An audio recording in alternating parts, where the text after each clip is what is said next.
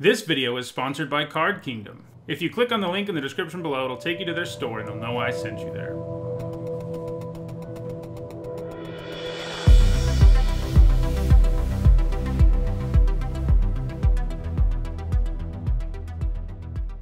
Hello everyone, I'm Neat and today I'm continuing with my limited review of Ikoria Lair of Behemoths. I've already looked at all the white and blue cards in this set, and today we're looking at black. Going forward, we're going to look at the rest of the cards. Also going to do a top 10 about the biggest bombs in the format, and an archetype guide, talking about every two color pair and what they want to be doing in this format. Before we get started, I just want to remind you that this video is about limited. It's not about any other formats, just limited. That means draft and sealed and nothing else. I'm also only talking about cards that are in actual booster packs, so things like the buy a box promo and cards that appear in other products will not be talked about in this video. Additionally, I use a letter grade system to talk about cards in all limited formats. If you're not sure what my grades mean, you should see an explanation in the description below. Alright, let's look at our first black card in Ikoria Lair of Behemoths. First up, we have Bastion of Remembrance, which for two generic and a black is an uncommon enchantment, and when it enters the battlefield, you create a 1-1 white human soldier creature token, and whenever a creature you control dies, each opponent loses one life and you gain one life.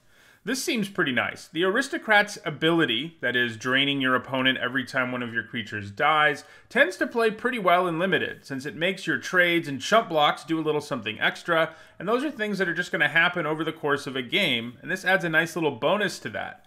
It is nice that this even brings a 1-1 token along for the ride, letting you add to the board at least a little bit, in addition to getting this effect out there. If this didn't add to the board at all, it would be a little harder to be super interested in, but even if it didn't add to the board at all, it would be a pretty good card because this kind of card does actually impact the board state right away in the sense that suddenly combat has a lot of different things going on in it than it had before. So adding the token is nice. It does make it better than it would be anyway, but I do think it would be playable without it. Now, your deck probably has to have one of the three following things, or more ideally, all three of them going on for the Bastion to be at its best. You either need a bunch of creatures, a bunch of creature tokens, or a bunch of sacrifice effects.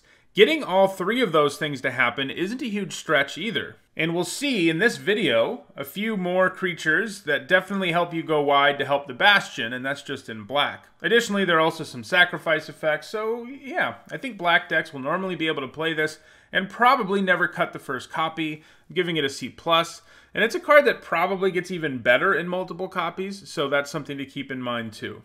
Next up, it's Blitz Leech, which for 5 generic and a black is a 5-2 leech at common. It's got flash, and when it enters the battlefield, target creature an opponent controls gets minus 2, minus 2 until end of turn. Remove all counters from that creature. This is a neat design. A 6 mana 5-2 that has flash and gives something minus 2, minus 2 is already a pretty good card. The high power here means it can come down and trade with some big boys, and the minus 2, minus 2 means it can kill something small. If you're keeping track at home, that's a two for one, and that's without taking into account the fact that it removes counters from the creature too, something that in this format could really have a huge impact. This costs 6, but I think every black deck will want the first copy, and I think they should even value it pretty highly. Flash even has a bit of extra upside in this set because it's the blue-black archetype, I'm giving Blitz Leech a B minus. It's one of the better black commons. Next up, it's Bloodcurdle. It costs three generic and a black for a common instant, and it says destroy target creature, put a menace counter on a creature you control. So have keyword counters making their debut in this set. Uh, Bloodcurdle is a great common. Four mana for instant speed kill anything is usually at least a B. And this permanently gives something lifelink, which is a pretty real thing to be doing. Sure, sometimes that upside won't mean a lot, but sometimes it will really matter. And when it's stapled to an already premium removal spell, I'm pretty happy about it. I'm giving this a solid B. It's also a really good black common. Next up, it's Boot Nipper, which for one generic and a black is a 2-1 beast at common, and when it enters the battlefield, you get to choose between a Death Touch counter or a Lifelink counter, and then put that counter on it. A 2 mana 2 1 with lifelink and a 2 mana 2 1 with Death Touch are both usually C's. This has the upside of being nice with mutate since it brings keywords along for the mutation. While that's relevant, I don't really think it does enough to get this anywhere above being a solid playable, a nice 2 drop you'll be playing, but certainly not one you should be going after early, giving it a C. Next up, it's Bushmeat Poacher, which for 3 generic and a black is a 2-4 human soldier at common, and you can pay 1 generic and tap it to sacrifice another creature, and you gain life equal to that creature's toughness, draw a card. This is a nice activated ability. Cashing in creatures for cards is always a nice thing to have in Limited because it isn't unusual for some of your early creatures to become kind of useless as the game wears on, and this gives you something really nice to do with them. Gaining life and drawing a card is great. Anytime those two are put together, I'm pretty happy because the life you gain makes it more likely you'll be able to use that extra card you drew before you die. You can also use it in response to removal or on a creature who has been shut down by an aura. This can also be used to sacrifice creatures who are blocking and would die anyway. A 4 mana 2 4 isn't even the worst stats ever, and overall this seems solid in slower black decks. It also combos well with red threaten effects, by the way, since the sacrifice only costs a single mana. I think there will be plenty of black decks that don't want this since it's grindy, but I think it's such a nice common in the more grindy black decks that I'm giving it a C+. It's going to be something you usually want one of in that type of deck. Next up, it's Call of the Death Dweller, which for two generic and a black is an uncommon sorcery. It says return up to two target creature cards with total converted mana cost three or less from your graveyard to the battlefield. Put a Death Touch counter on either of them, then put a Menace counter on either of them. This card has a cool design and is interesting enough that it definitely almost feels like it could be a rare. If you can consistently have creatures in your graveyard for this, it is going to be amazing. 3 mana for two 3 mana creatures who each have a keyword ability counter is awesome. Now, this set has a graveyard theme, but it's not huge. We'll see some cards in this video that help you load the graveyard. Black-green is really where you'll be able to do it at the very best. But even though this won't always have things in your graveyard, and sometimes it's going to be a dead card, it's also the kind of thing that in the mid to late game, when it always is getting back two things, which isn't that far fetched, it's going to be pretty incredible. I mean, you're paying three mana for six mana worth of creatures and making them both better with their counters. So this card is pretty powerful, especially for an uncommon.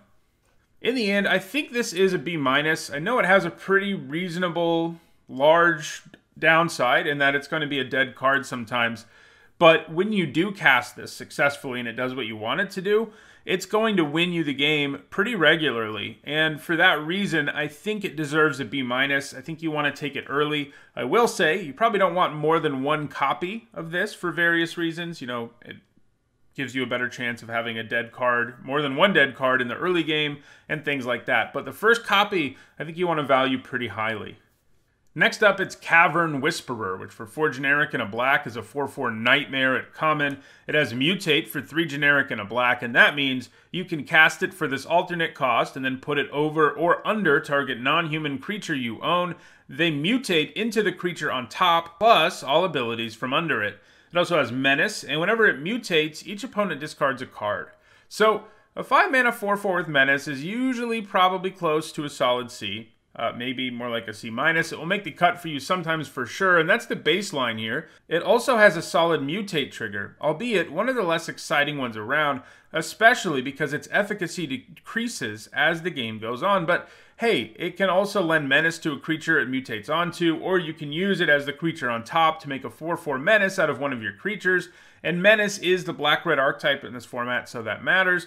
But still, costing 5 to mutate for an underwhelming trigger isn't great, even if you're upgrading a creature at the same time. I think this is just solid, I'm giving it a C. Next up, it's Chittering Harvester, which for 5 generic and a black is a 4-6 Nightmare at uncommon. It can mutate for 4 generic and a black, and whenever it mutates, each opponent sacrifices a creature. So, Edict effects may be extra good in a format with mutate, since people will be more frequently stacking a bunch of cards on top of each other. But Edict effects can really let you down by the later part of the game, like turn 5 when you play this. It can also have a real effect, but I mean, is making a creature into a 4-6 for 5 mana while making your opponent sack something really that great?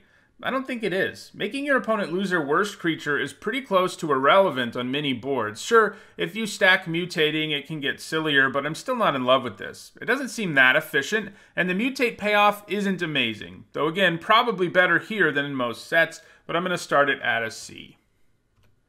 Next up, it's Corpse Churn, which for one generic and a black is a common instant, and it says put the top three cards of your library into your graveyard, then you may return a creature card from your graveyard to your hand. This is a reprint from Oath of the Gatewatch, and this was fine there. that's about what it will be here. There is some graveyard action in this format that we've already seen, but it isn't like this is Theros. You won't always be able to take advantage of getting stuff into your graveyard, so a lot of the time this is kind of just like a black anticipate, which isn't bad, but it isn't exactly something you really need to pull your deck together either. I think you'll cut it pretty often, giving it a C-. minus. Next up, it's Dark Bargain, which costs 3 generic and a black for a common instant. And it says, look at the top 3 cards of your library, put 2 of them into your hand and the other into your graveyard. Dark Bargain deals 2 damage to you. Another reprint, one I like a little more than Corpse Churn. It also does a little bit of graveyard stuff, but instead of just giving you some card selection, Dark Bargain actually nets you a card. This is kind of like Black's version of Scry 1, draw 2 cards, and you know, it's not quite that good, admittedly, but I think that most black decks usually want to run one card like this that can help them find an advantage in the later stages of the game. I think this is a solid C. Next up, it's Dead Weight, which is one black mana for an enchantment aura at common. It has enchant creature. An enchanted creature gets minus two, minus two. Dead Weight's back. That's the third consecutive reprint, kind of funnily enough. Anyway, dead weight is always premium removal. It often trades up since it only costs one mana and gives minus two, minus two, and in a pinch, you can even use it to weaken creatures who might be too large to die from it. That isn't usually ideal, but it is something that it can do in addition to just killing an X2. This is usually a B minus, and I think that's what it is here too. Next up, we've got Dirge Bat, who for 2 generic and 2 black is a 3-3 bat at rare. He's got Mutate for 4 generic and 2 black. He has Flash, He's got flying, and whenever he mutates, destroy target creature or planeswalker an opponent controls. This is really strong. I think in an ideal world, you hang on to this until you can pay the mutate cost. It's kind of like a 6 mana, 3 3 flying flash Ravenous Chupacabra, but one that requires you to have a non human creature in play. I'm willing to jump through that hoop though, and it won't be that hard. In a pinch, you also have a 4 mana 3 3 flyer with flash, which sometimes is just what you need. I think this will be hard to pass up since it is premium removal that comes with a sizable, evasive body, and I haven't even mentioned how silly it will be to mutate multiple times onto this. I'm giving this an A, it's a straight up bomb. Next up, it's Durable Coilbug, which for one generic and a black is a 2-2 insect at common, and you can pay four generic and a black to return it from your graveyard to your hand. This is a nice little common, he might just be a bear, but he is just the kind of thing you want in some long, grindy games, since this little bug can just keep coming back, assuming you have a ton of mana to pour into it. The coil bug is a fine play early and something you can get back late. Don't get me wrong, it isn't amazing at all, just right in my wheelhouse in terms of how I like to play Magic, but he's just a C. Next up, it's Duskfang Mentor, which for 2 generic and a black is a 1-3 human cleric at uncommon, and when it enters the battlefield, you put a lifelink counter on target non-human creature you control. You can pay 1 generic and a black to put a plus 1 plus 1 counter on each creature you control with lifelink. This whole cycle is pretty nice. Granting keywords to creatures who don't have them, especially big creatures, is going to feel good. And this whole cycle also has the ability to pump up creatures with that keyword, including but not limited to the one that you put the keyword counter onto. That means these have an immediate impact on the board in most cases, and they also have late game value in their mana sink ability. They are generally all undersized for their cost, but they do enough in addition to that to all be something you're interested in putting in your deck and that you probably never cut. I'm giving this a C+. Next up, it's Easy Prey, which for one generic and a black is an uncommon instant, and it says destroy target creature with converted mana cost 2 or less, cycling 2. The art on this one is really funny, uh, and this is a good use of cycling. Without cycling, this is probably like a D. Sure, it kills stuff at instant speed, but it is super narrow, only destroying things with a converted mana cost of 2 or less, and that also means you generally won't be coming out ahead mana-wise. You can use it in response to your opponent mutating onto a small creature, but that often won't accomplish a ton since the creature that is doing the mutating will just enter the battlefield as a creature. Even at its best, this won't be all that exciting, it'll just be fine. Adding cycling to the mix is definitely relevant because this often won't have targets. Most decks will likely have 3 to 6 things that die from this, and that's probably enough for this to be a C- minus thanks to cycling. That means you'll cut it a decent chunk of the time, and you may want to sight it in against opponents who have really low curves. It'll be a little better there, but it's still not great. Next up, we have Extinction Event, which for 3 generic and a black is a rare sorcery, and it says choose odd or even. Exile each creature with converted mana cost of the chosen value. I don't know how I feel about this. It's nice that you get to make the choice here, because you can choose whatever is best for you. Most of the time, that will let you come out ahead, but board states where the impact is negligible won't be that uncommon either, and it isn't like you will always have even permanents and your opponent will have odd ones. In those cases, it would be amazing. But it has pretty random nature to it overall, in the sense that you can't really determine what converted mana cost creatures are on the board.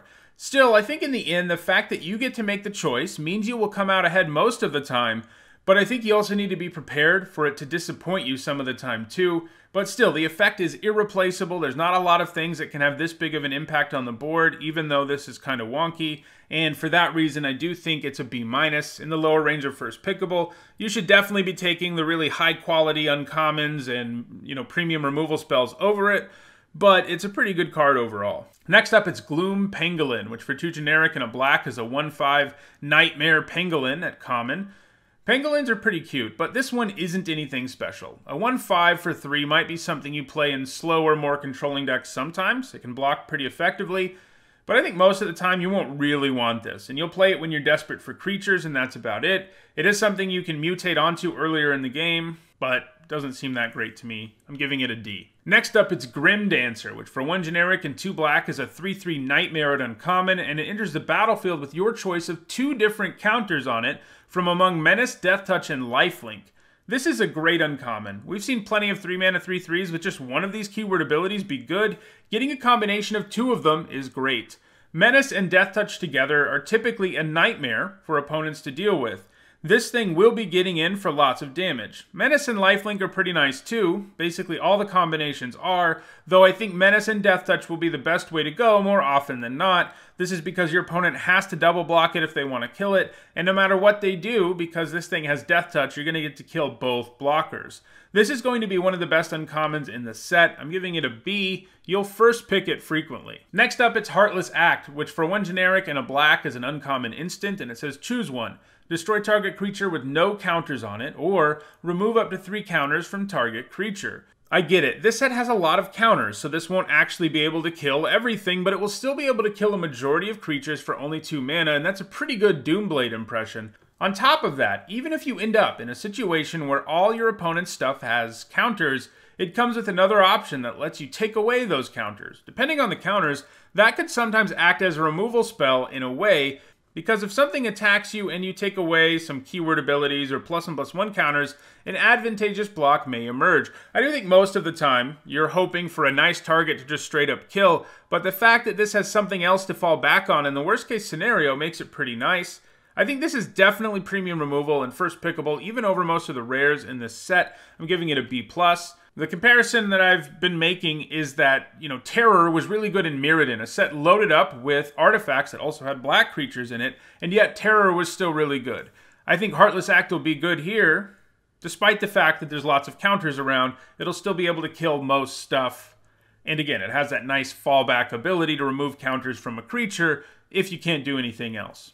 Next up, it's Hunted Nightmare, which for one generic and two black is a 4-5 Nightmare at rare. It has Menace, and whenever it enters the battlefield, target opponent puts a Death Touch counter on a creature they control. This is an interesting design. A 3 mana 4-5 with Menace is incredible, but the downside here is not insignificant. Giving an opposing creature Death Touch is not what you want to be doing.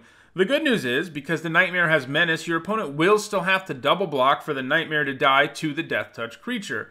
Black also has a good amount of removal as we've already seen, and just making sure you can kill their Death Touch creature is another way to go. The ideal scenario, of course, is to play this when your opponent has no board state or only one small creature you aren't worried about. And that's what the case will be if you actually cast this thing on turn 3, and in those games it might just take over. I think the downside here is real though, and later in the game it will have diminishing value, so I don't think I want to go after this early, even if the ideal scenario is awesome. It won't be what you get even half of the time. I'm giving it a C+. Next up, it's Insatiable Hemophage, which for 3 generic and a black is a 3-3 Nightmare at Uncommon. It has Mutate for 2 generic and a black, it's got Death Touch, and when it mutates, each opponent loses X life and you gain X life, where X is the number of times this creature has mutated. A 4 mana 3 3 Death Toucher is usually a C or C minus. Being able to trade for anything and the decent size is fine. And that's one thing that is nice about most of the mutate creatures. They all have very reasonable fail cases. The Hemophage can also drain the opponent every time you mutate, and in a format with the mutate mechanic in general, being able to staple Death Touch onto stuff will be nice sometimes. The mutate payoff here isn't the most exciting. The first time you do it, it won't be a big deal. If you can stack it, it seems pretty nice, but it also seems dangerous because you're opening yourself up to three and four for ones, which isn't really going to be worth it just to drain your opponent for two or three life. Overall, though, I think this is just a fine black card. I'm giving it a C. Next up, it's Lurking Deadeye, which for 3 generic and a black is a 4-2 human assassin at common and it has flash.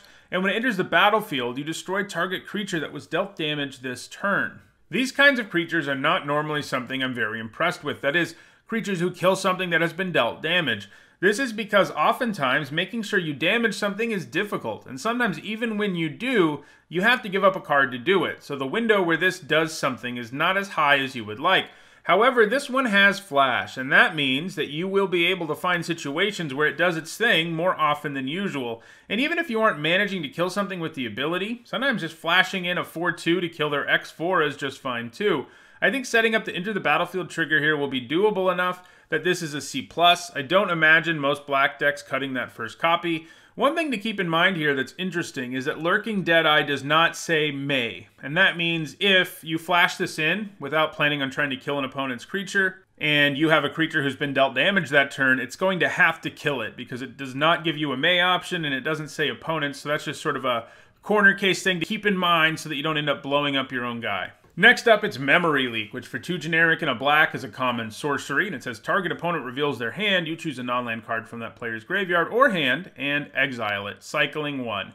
This is a way better coercion between the exile effect and the ability to go after the graveyard and cycling. Normally, three mana to discard a non-land card from your opponent's hand is like a D in limited. It's more of a sideboard card, really. The horrible thing about discard spells like it is normally that you find yourself not always being able to do something with them.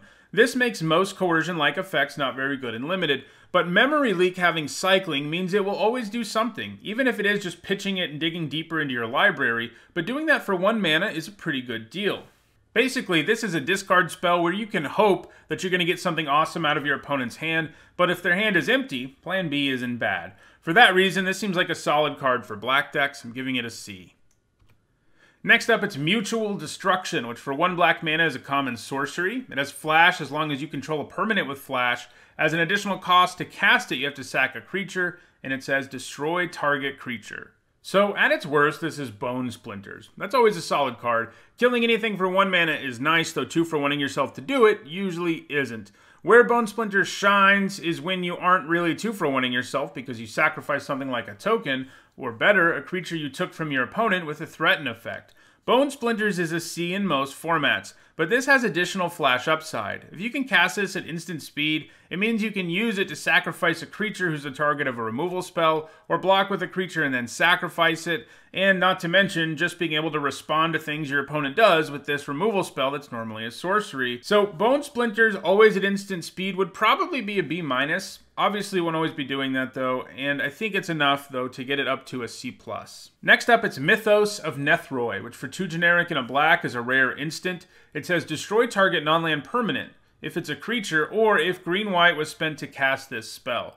So two and a black to destroy a creature at instant speed is a very good card and certainly premium removal. This comes with the additional upside of, if you were going straight up Abzan, you can turn this into almost Vindicate and destroy any non-land permanents, not just creatures. That's some serious power. Now, will it be super easy to go three colors? Probably not, but it will be doable. Still, I'm going to give this a B+. It's basically an easier to cast murder, with the caveat that it is probably a straight A in a deck that has no problem making this capable of destroying any non-land permanent. Next up, it's Nightsquad Commando, which for two generic and a black is a 2-3 human soldier at common, and when it enters the battlefield, if you attack this turn, create a 1-1 white human soldier creature token. So if this was a 3 mana 2-3 who always gave you that 1-1, it would be a B- minus probably, However, you do have to fulfill the raid trigger here to get that 1-1, and while that's not the craziest hoop to jump through, it won't always be worth it. A 3 mana 2-3 isn't the worst fail case, but yeah, I think this is a C. C+. Next up, it's Serrated Scorpion, which is 1 black mana for a 1-2 Scorpion at common, and when it dies, it deals 2 damage to each opponent, and you gain 2 life. This is an interesting yet simple design. As a 1-2, it can block the human tokens in this set, and with the death ability it has, it creates a 4-point swing in life. That's not insignificant. This is not a bad thing to sacrifice to various effects, nor is it a bad thing to mutate onto early, but it isn't exactly amazing in either of those cases either. I think this will make the cut enough of the time that it gets up to C minus, but I think you'll still cut it a lot. Next up, it's Suffocating Fumes, which for two generic and a black is a common instant, and it says creatures your opponents control get minus one, minus one until end of turn, and you can cycle it for two generic mana. Another card, upgraded considerably by cycling. Giving your opponent's team minus one, minus one until end of turn will sometimes have a big impact. Either because it kills their X1s outright, or you can use it to really mess up combat for your opponent, but about half the time, and maybe more, it doesn't do anything significant, and that's when you cycle it. A card that just did the minus one, minus one thing would probably be a D, but I think cycling upgrades this into the C minus range. Next, it's Unbreakable Bond, which for 4 generic and a black is an uncommon sorcery, and it says return target creature card from your graveyard to the battlefield with a lifelink counter on it. There's a fair bit of reanimating in this set. We already saw one black spell that reanimates. There's also a black-green uncommon that reanimates. So there's reanimating at the lower rarities here, and I think that's an important thing to keep in mind. Anyway, we see 5 mana reanimates a lot, and they usually aren't that good. The problem is that you need something in your graveyard that is worth spending 5 mana to reanimate, and not all decks will be able to do that. Although I think this set will be able to do it more often than most, and normally this kind of card for me ends up being like a D plus or a C minus, a little better if you have a couple of bombs, of course. But I think Unbreakable Bond is going to be a little better in this set than this card normally is. For one thing, it also gives the creature lifelink. For another, there's lots of big boys that you can cycle early in multiple colors, not just in black, not just in green, but in multiple colors. And if you're cycling away a 7 mana 7 7 worm on turn 2, Casting Unbreakable Bond on turn 5 is going to be a very real play, and something that I think we're going to see a decent chunk of the time out of black decks. So, cycling makes this a little bit better. It still has the downside of really needing you to stock your graveyard, which, while it's a little easier in this set thanks to cycling, sometimes you're just going to have like a 3 3 in there, and casting Unbreakable Bond to get that back isn't going to feel good. But there are going to be times where this just wins you the game thanks to the reanimation effect and all the big creatures you can cycle away. But I think you have to sort of put it in the middle. You know, it will sometimes be stuck in your hand and do nothing. It will sometimes win you the game. And then there's sort of a middle ground, which is probably what it'll do the most frequently, which is reanimate something and help you win a game. And I think all of that just makes it a C. Next up, it's Unexpected Fangs, which for one generic and a black is a common instant, and it says put a plus and plus one counter and a lifelink counter on target creature. This doesn't seem that great to me. As a trick, it gives a pretty mediocre stats boost, even if the counter is permanent. The best tricks drastically increase the chance of your creature winning in combat, and this just won't line up that way often enough. Lifelink permanently is something I can get behind, but I feel like this trick has all the usual risk tricks have without really being worth it. I'm going to steer clear of this most of the time. I'm giving it a D. Next up, it's Unlikely Aid, which is one generic and a black for a common instant, and it says target creature gets plus 2 plus 0 and gains indestructible until end of turn. It's good to follow up a bad trick with a decent one. Unlikely Aid costs the same amount of mana, but it is considerably better than Unexpected Fangs in most situations. This is because it grants a keyword that guarantees, or almost guarantees, that your creature will survive combat while the boost it gives is not permanent, 2 power and indestructible is going to make a wider variety of creatures win combat in a wider variety of situations. Because of indestructible, you can use it in response to removal and things like that too if it comes up. Now, this is still a trick, and I have a hard time ever really loving most of them because they're situational and somewhat risky, but this is a trick you'll play more often than you won't. I'm giving it a C minus. Next up, it's Void Beckoner, which for 6 generic and 2 black is an 8-8 Nightmare Horror at uncommon. It has Death Touch. You can cycle it for 2 generic and a black. And when you do cycle it, you put a Death Touch counter on target creature you control. So here's one of these big creatures that you can cycle away early and then reanimate. Anyway, an 8 mana 8 8 Death Touch would not normally be something I want to play. That's because it's just hard to get to 8 mana, but by adding cycling to this, it becomes much more intriguing. Cycling really lets you get away with playing stupid expensive cards, since if you can't cast them, you can always turn them in for a card. It's especially nice that this Beckoner also has a trigger with cycling. Giving something Death Touch at instant speed and drawing a card is pretty nice. Even if your creature still dies in combat, you end up netting a card out of this, so the fact is offset especially if you were trading a little guy who could previously only chump block for something scary on the opponent's side of the table. And yeah, the fact that you can play this huge creature in the ultra late game is nice too. I think this is a nice card for black decks, but not one you quite want to first pick. I'm giving it a C+. Alright, our last black card is Zagoth Mamba, which for 1 black mana is a 1-1 Nightmare Snake at uncommon. When it mutates, target creature an opponent controls gets minus 2, minus 2 until end of turn.